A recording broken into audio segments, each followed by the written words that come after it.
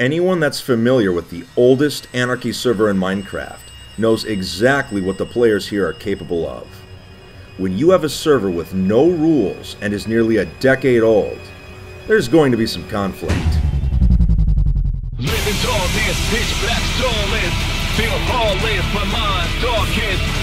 Purpose is to get my target Until I check off everybody on my list. But somehow this is like a circus. I'm gliding all of y'all done at my service. Please get ready for some disturbance. But this is what you get for your purchase. I am an agent of the darkness Now there's nobody else, just us.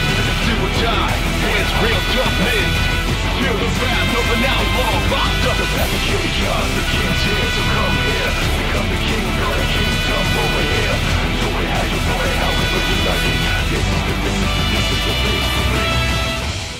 The Incursions. Seven of them have occurred since 2B2T began in 2010. Some were major success stories, others were total failures. What is an incursion? Well, think of it as a group of players coming together to take control of the server or to accomplish a goal.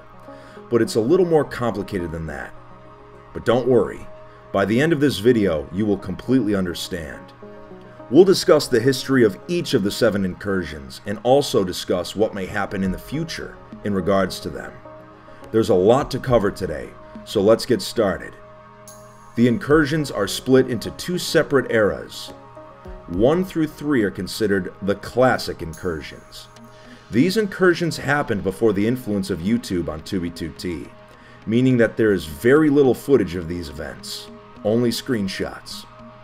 4 through 7 are considered the modern incursions.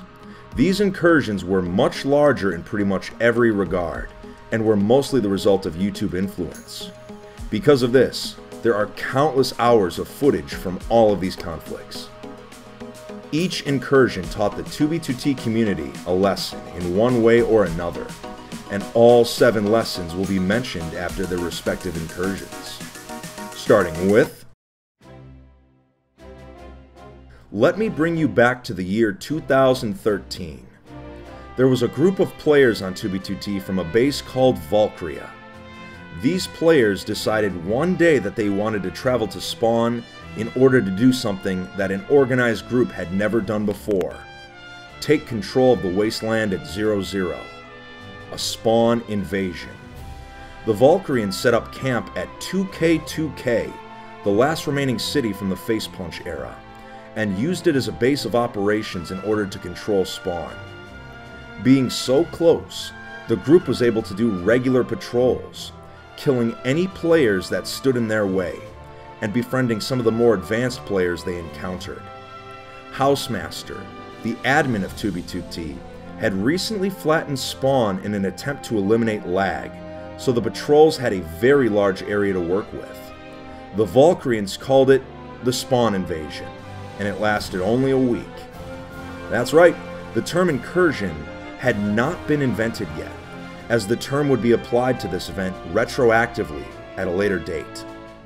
While the members of Valkyria had fun with their little invasion, they realized just how challenging a spawn occupation actually was, and the leader of the group, Sato86, felt that the invasion wasn't exactly a success. It had failed to accomplish its goal. The first incursion may have been a failure, but it showed that players could band together on a server with no rules to try and accomplish something. If only they had greater numbers. But the lesson learned from the first incursion was that lacking objectives and goals would make players disorganized and they would lose interest in a community event very quickly. A few months later, a post about 2B2T went viral on the Minecraft subreddit, and at the same time, an IGN video was released about 2B2T, which caused a new wave of players to join the server. At the time, it was considered enough new players for the members of Valkyria to once again call for a spawn invasion. Remembering what they had learned from the previous invasion, they brought more members and had pre-planned goals. These included rebuilding spawn roads, protecting the NFE spawn base, protecting other structures such as spawn beacons, and of course, killing the invading new players. This spawn invasion lasted two months, much longer than the original. Overall, this second spawn invasion was considered a success, and the first true takeover of 2B2T's spawn region. The lesson learned from the second incursion was that having goals helped maintain player presence at spawn and kept them busy with their own tasks. It cemented the path for goal driven incursions in the future. However, two months was too long for an incursion, and it led to the exhaustion of the players involved. It would be another two years before the community came together again for another incursion. In 2015, after the largest base on the server at the time, Asgard 2, was griefed, the community of nearly 30 players living together were upset and needed to take their anger out on something. Many of the base members were ex members of Valkyria, and they decided that it was time for another incursion. The previous two spawn invasions were renamed to incursions, and the third incursion planning was well underway. But this time, things would change. The third incursion was different than the previous two for a few reasons. First, it was the first incursion to have a deadline. A deadline would ensure that the event did not go longer than one month, preventing player burnout. The first incursion to allow players from outside the Valkyrian Legion circle. Many of the members of Asgard 2 were strong fighters, builders, and thinkers. It made sense to have them involved. And it was the first incursion to have a community build project. It was decided that a community build project would help cement the incursion's takeover of Spawn and give the members something to protect. What was the build? Wrath Outpost a giant base made entirely out of obsidian. It took a couple of weeks to be fully completed, but once it was finished, it was the largest spawn base ever built. Since withers were disabled on 2B2T during much of 2015, it was almost impossible to grief. Incursion members patrolled the base round the clock, and using spawn eggs, ghasts were spawned in as aerial support to attack invaders. Using Wrath as the spawn outpost, the incursion had total control of spawn. It was a complete success, and after one month, the incursion came to a close. The lesson learned was that by setting a deadline, it gave the people involved a sense of urgency, which made all members more productive. It also allowed newer members a way to prove themselves and be useful. I'll always have a soft spot for the third incursion since it was the first one I was part of. The end of the third incursion marked the end of an era. The classic incursions had come and gone. Nearly a year later, the YouTube invasion of 2B2T would begin, and with it, a new era of incursions.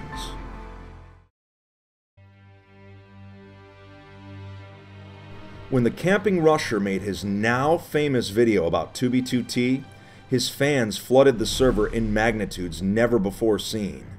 His fans were called the Rushers and began rushing 2B2T.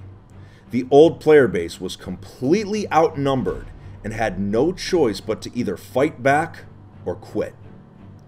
The Rusher War was inevitable. I started the Team Veteran Initiative in order to rally some of the old players and also convert new players to our side, while Sato and the other old incursion members began organizing in case a new incursion had to be called. We tricked the incoming players into fighting each other under the guise of Team Veteran versus Team Rusher. While many of us were fighting on the front lines at spawn every day, it just wasn't enough. There were just too many new players. While we were able to dispose of most Diamond Rushers with relative ease, a group of new players began to rise to power seemingly out of nowhere. They called themselves the Resistance. They were a team of rushers that were far more skilled in combat than any of the other new players. They had legitimate PvP background and fought in teams, outnumbering lone veterans they came across. They managed to defeat some of the old players by catching them off guard, including Burnsy and Sato. The new players were overwhelming, 2B2T culture was not being respected, and now, longtime players were being singled out and attacked. That was the final straw. The old community came together again, and the fourth incursion truly began. For the first time, the incursion was willing to take in new players if they had something useful to contribute or had certain skills, such as Basti VC's bomber airships or San Wukan's lag machines. By using social engineering, hacking, and brute force, all resistance supply stashes were wiped out, and in July of 2016, late one summer evening, the incursion banded together and carried out a raid on the Resistance's main base. The place was a crater by the time the incursion had finished destroying everything. In the weeks leading up to my duel with the camping rusher, the 4th incursion continued to fight at spawn, weakening the resistance and continuing to kill rushers. While this was happening, though, a new form of combat was emerging crystal combat. End crystal explosions were so powerful that they could kill any player with only one or two explosions, even with God Apples. This effectively turned traditional PvP battles into kamikaze runs. None of the sides were prepared for this kind of change in the combat meta, and the incursion began having trouble maintaining control of spawn. A few days after I won my duel against the camping rusher, both sides of the conflict re-geared for one final confrontation at Spawn. This would be the last true battle of the Rusher War. Corrupted Unicorn, the leader of the Resistance, unexpectedly switched sides before the battle and was ready to fight alongside the incursion. Both sides met near Spawn and began fighting. Some end crystals were used, but the majority of the combatants used traditional weapons. The battle lasted almost an entire hour, and ended with Rusher and company fleeing the battle, but still surviving. This would go down as the last major battle in 2B2T history that still used traditional PvP weapons. Summer came to a close, and the war on 2B2T was finally over. The members of the 4th Incursion went their separate ways.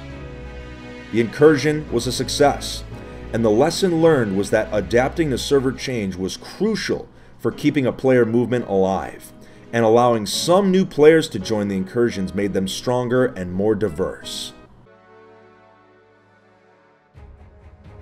Once the war ended, numerous groups and factions sprang up after both Team Veteran and Team Rusher had been dissolved. These groups attempted to gain as many members as possible and began fighting for control of the 2B2T community. During this time of struggle, one of the most overpowered duplication exploits in 2B2T history became public. The server was falling even deeper into chaos. A player named Jared2013 attempted to use this chaos to his advantage. You're probably familiar with Jared if you've seen my video on how 2B2T almost died. Well, seemingly for no reason, Jared called for an incursion and started calling it the fifth incursion. At first, the community thought it was a joke, but he was serious. He had a goal of creating a large wall at spawn made entirely out of obsidian. Jared, however, ignored the lesson that had been learned during the fourth incursion and prevented all but his close friends from joining. This was a total disaster. It was a total bonehead move. There were not enough members of his incursion to actively build his wall and many of the groups that were attempting to rise to power took the opportunity to destroy what was built of the wall for attention and for clout. One group in particular, Aurora, completely destroyed the 5th incursion wall single handedly using withers. The incursion was a total disaster and to this day is still considered a joke. The lesson learned was one person alone cannot create an incursion. It requires multiple community leaders, and compromises need to be made in order to have enough people to accomplish the goals. More than a year would pass without any sort of incursion or major YouTuber invasion.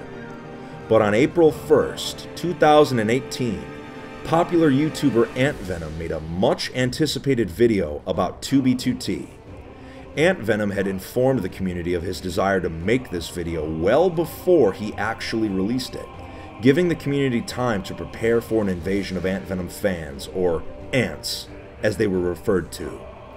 The major groups that had survived the chaos of post war 2B2T were now established forces on the server. While not entirely hostile towards each other, they weren't exactly allies. But the Ant Venom invasion changed that.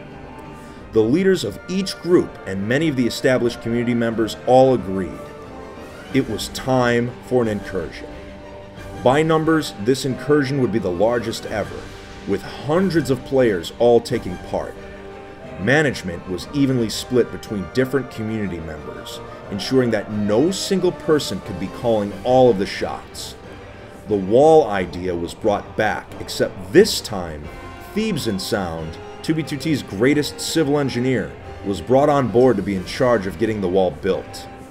The major groups taking part in the incursion all lended members to help with the wall. Other community leaders such as Henry and Hermetic Lock all kept the groups in check, making sure that nobody overstepped their boundaries.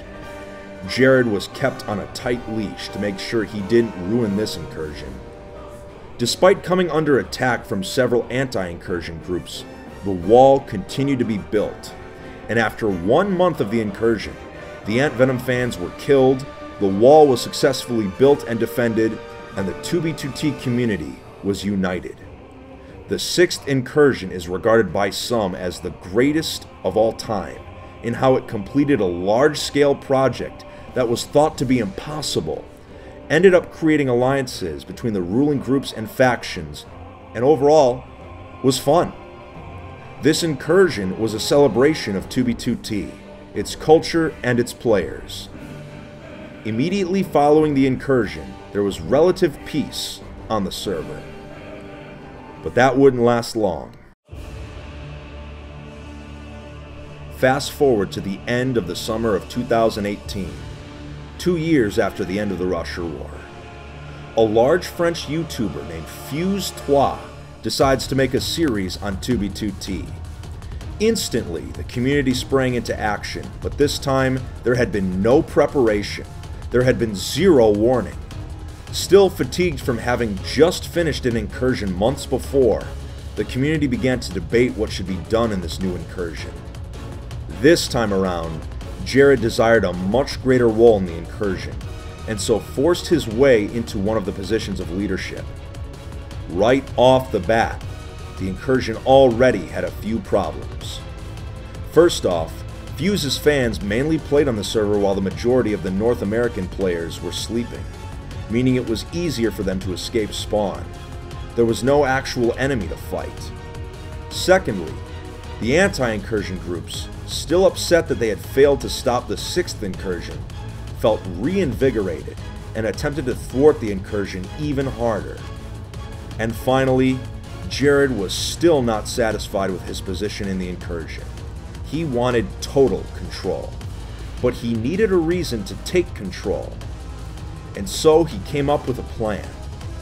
First, he would convince newer incursion recruits that he was the true leader of the incursion. Then, he began using his privileges to kick players that he knew would stand in his way.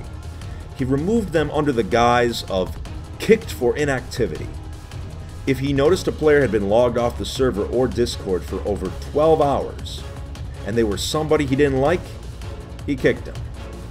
He kicked out many of the previous incursion members and even kicked out some of the 2B2T YouTubers, myself included, since we were all well aware of his previous failures.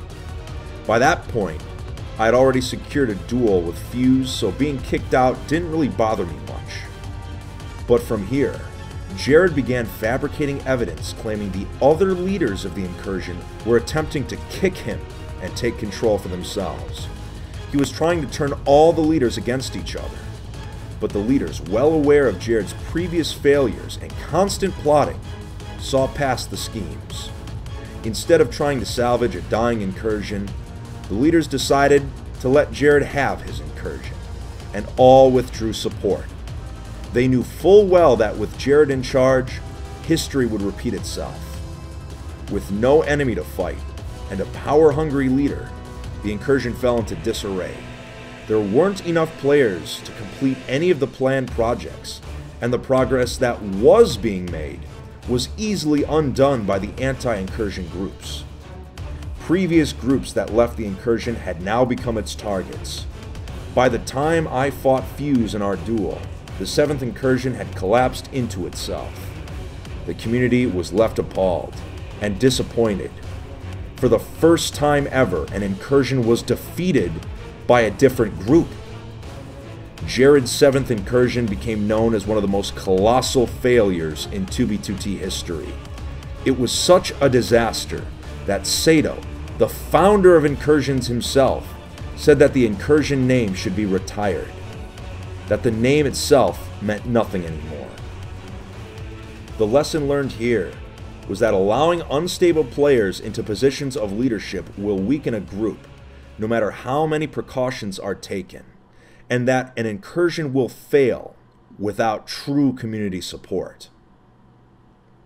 That brings us to the future of incursions. These days, the community is weary about the name incursion. It's meaningless now. It's a joke.